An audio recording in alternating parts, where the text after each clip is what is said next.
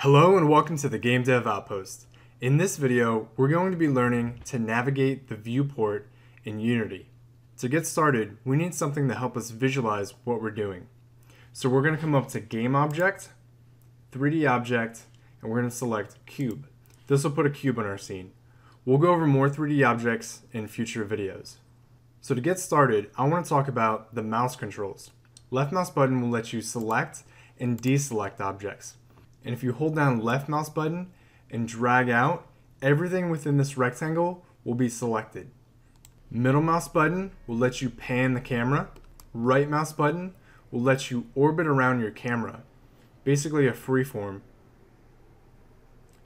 Scrolling middle mouse will let you zoom in and out. And just the same, if you hold down Alt on the keyboard and use right mouse, you can zoom in and out as well. Now while still holding down Alt on the keyboard and holding down left mouse button, you can rotate around the last selected object. Next, I want to talk about flying around the scene.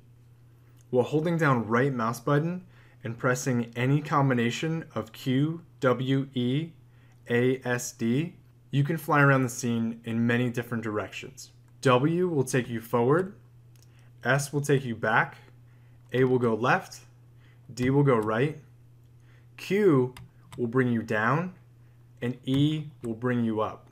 Now, if you combine these with looking around with the right mouse button, you can get a lot more range of motion. There's also two ways that you can adjust the sensitivity or the speed of flying around with those controls. So while you're flying around, if you hold down shift and move, you'll notice that it goes a lot faster.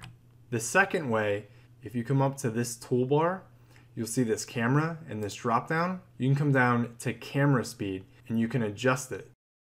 Next, let's talk about the 2D viewport. Now the controls in here are very similar to the 3D viewport, but they're a lot simpler. Left mouse button will let you select and deselect, and it still has the drag select.